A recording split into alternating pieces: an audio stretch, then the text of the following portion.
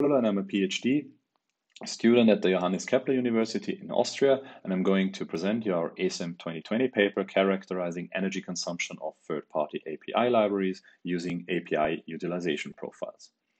Energy consumption has become an important non-functional quality aspect in mobile application development.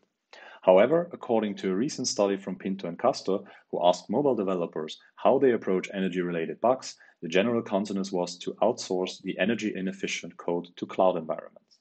So the question arises, given that mobile resources, resource constrained devices have become a crucial aspect of people's everyday life, are developers aware of the energy implications of their software design choices?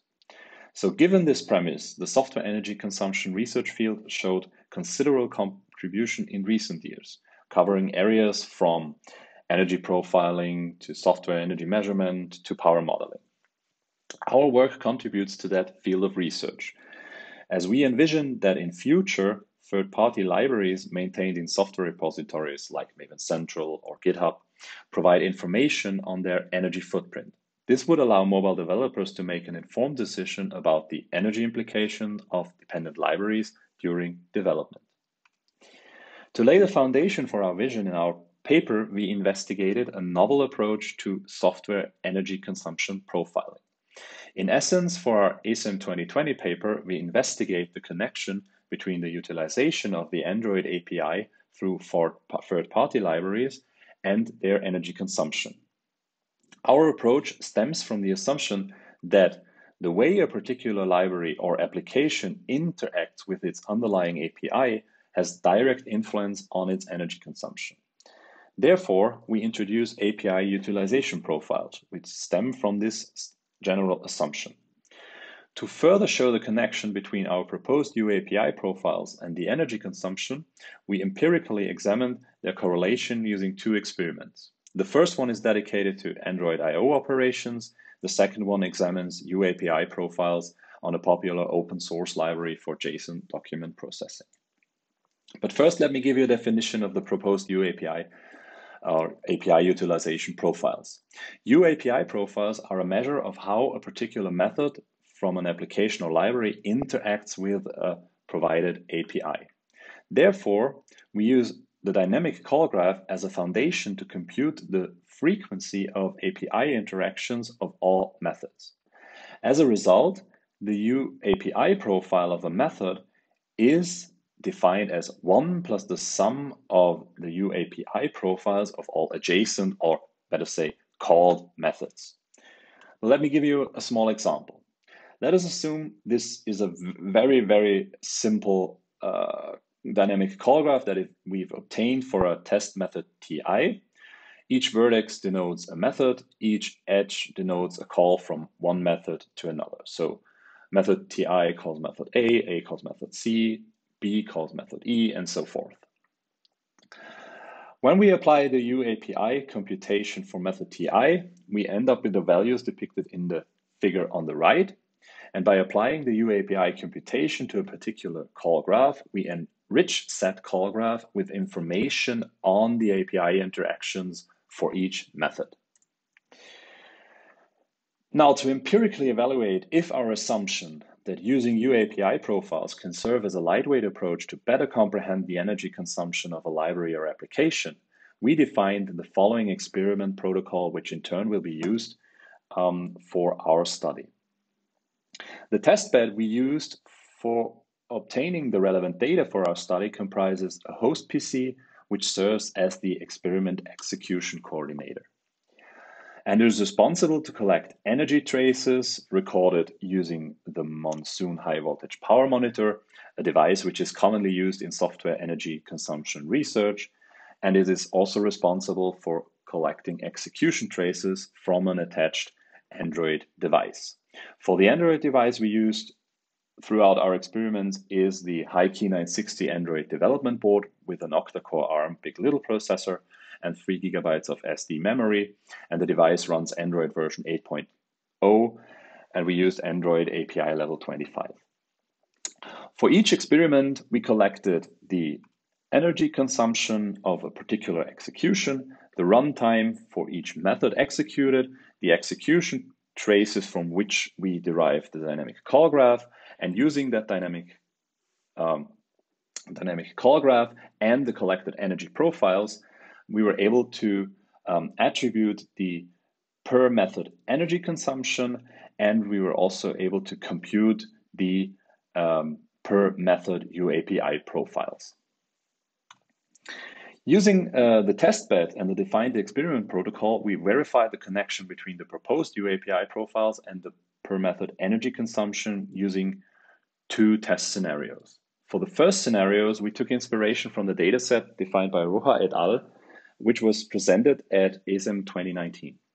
We um, evaluated two different cases comprising different approaches available in the Android API to reading and writing a file of size of 10 megabytes. The table on the left outlines the classes and methods involved in this first scenario.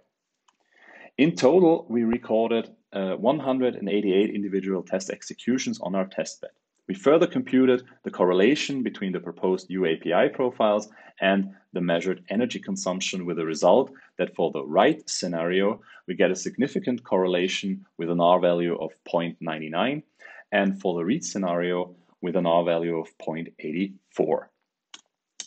If we take a closer look at the data, we can observe that the UAPI profile, which we can see at the bottom for uh, the writing case on the left side and for the reading case on the right side, uh, that the overall trend of the UAPI profile follows the trend of the um, um, energy consumption readings, which are presented in the plots uh, at the top.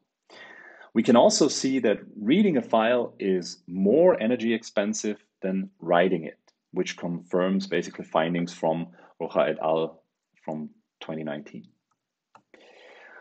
For the second test scenario, we used Google JSON as a prominent, which is a prominent Java library for JSON uh, document processing, for which we used the available unit tests as a basis for our experiment. The library was instrumented to collect execution traces and deployed to the testbed. For an overview on the API packages involved in the test, please refer to our paper. In total, we recorded 8,635 individual test executions and collected approximately 3.2 million attributed method traces, which means methods attributed with energy consumption values and attributed with computed UAPI profile values. Um, again, we computed the correlation between the energy consumption and the proposed UAPI profiles. And again, we got a significant correlation with an R value of 0.84. The image on the right shows the result of the Google test scenario for readability. We grouped the data uh, given their min, max, and interquantile ranges in four bins. And in general, Again, we can see that the overall trend of the energy consumption is followed by the UAPI computation. However, there is one exception. The first bin spans a wide range up to the UAPI value of 200, nearly 200,000. This is due to the fact that um, very fundamental APIs, like from example, for example, from the Java Lang package, are heavily used um, throughout uh, the application, um, whilst their contribution to the overall energy consumption is very low. And to account for that, we're currently investigating possibilities to incorporate a weight term in the computation of the UAPI profiles. To conclude, UAPI profiles, um, given our experiments and the results of our experiments, serve as a lightweight and feasible approach to characterize the energy characteristics of third-party libraries. The computation does not involve any special hardware and there are no alterations on the target mobile device required. So given our result and our uh, given our results, we conclude that our initial research shows a promising uh, promising research direction. However, we believe further research is needed to improve the UAPI computation.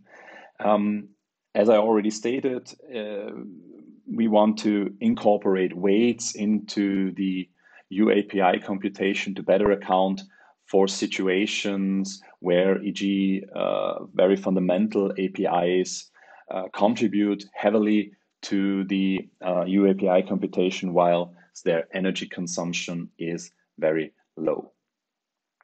With these concluding remarks, I would like to finish my presentation. Thank you very much for your attention.